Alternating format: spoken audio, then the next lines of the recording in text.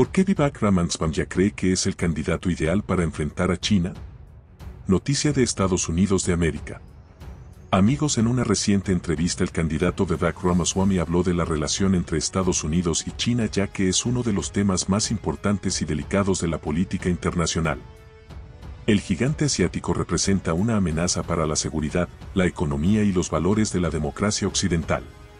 Vivek Ramaswamy ha presentado un plan de cuatro puntos sobre el comercio, que se centra en la independencia económica de Estados Unidos frente a Beijing, al mismo tiempo que refuerza las relaciones con otros países como India, Brasil e Israel. En una reciente entrevista, Ramaswamy explicó cómo su plan combina el relocalizar a Estados Unidos la producción de bienes esenciales, como los medicamentos o los componentes militares, con ampliar los acuerdos comerciales con aliados estratégicos, como Japón, Corea del Sur, India o Australia. Él dijo, que parte del problema es que no podemos depender de nuestro enemigo para nuestro modo de vida moderno desde los zapatos en nuestros pies hasta los teléfonos en nuestro bolsillo, e incluso nuestra base industrial de defensa. Los mismos aviones de combate que fabricamos en este país dependen de piezas y minerales procedentes de China. Eso es un error.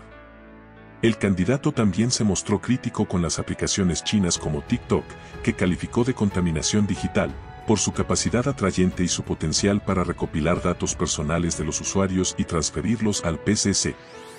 Sin embargo, Ramanspan ya reconoció que usa TikTok para llegar a los votantes jóvenes, uno de los sectores más descuidados según él, por el Partido Republicano.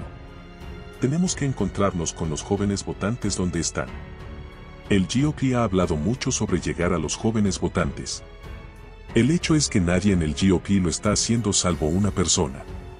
Y con todo el respeto, Bill, ese soy yo, afirmó ya. Pero para lo que dijo este candidato mis amigos, hay un dicho que dice, alábate solo, que nadie te alabará. Y tú dime, ¿qué opinas de lo que dijo Ramansvanya? Dios bendiga a los Estados Unidos de América.